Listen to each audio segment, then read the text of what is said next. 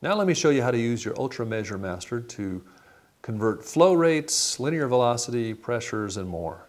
You see the top row of keys here above the gallon fluid ounce liters. It says gallons per minute, ounces per second. So say we've got uh, 10, convert gallons per minute. How many ounces per second is that? Convert ounces per second, it's 21. How many liters per second? How many milliliters per second? Etc. There's also solutions built in for linear velocity. Let me clear out of this here. So say we've got something that's going at 10 miles per hour. Over the miles key, it says miles per hour. So convert 10 miles per hour. How many kilometers per hour? Convert that to kilometers per hour. You can convert that to millimeters per second, to meters per second. Down here is feet per minute. You can do feet per second or even inches per second. You can also do calculations for pressures. Say you've got something that's 15 pounds per square inch. Over the pounds key, it's PSI.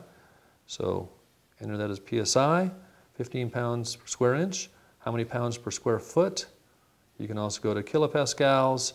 You can go to bars, etc. So that's a quick overview on the flow rates and linear velocity and pressures. For more details, you can download our user guide at www.calculated.com support.